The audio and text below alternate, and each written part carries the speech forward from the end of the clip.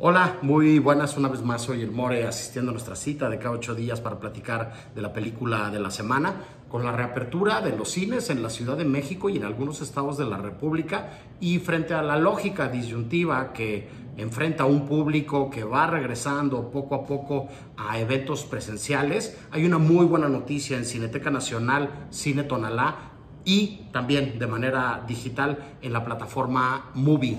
una retrospectiva o ciclo, llamémoslo como queramos, sobre la obra del brillante cineasta hongkongués Wong Kar Wai. De la media docena de títulos que componen esta muestra, hoy me gustaría hablar de mi película favorita del director, que es In the Mood for Love, una cinta redonda que concentra todos los elementos de un estilo reconocido y aplaudido por todo el mundo, que fue además eh, seleccionada hace muy poco tiempo por una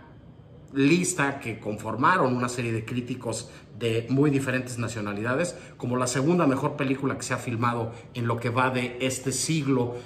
Sofisticado retrato del desamor y la desilusión In the Mood for Love y el cine de Wong Kar Wai están consiguiendo a través de su uso de la música de su delicada imagen construida en sociedad con su cinefotógrafo de cabecera Christopher Doyle eh, algo que ni siquiera el cine comercial y grandes blockbusters habían logrado y es que poco a poco la gente se vuelva a acercar a estas proyecciones presenciales, muy buenos resultados en eh, la oferta en Cineteca. Y para quienes todavía no se animen a volver, ahí está Movie, invitamos a revisar una maravilla de película que es In the Mood for Love y toda la obra de Wong Kar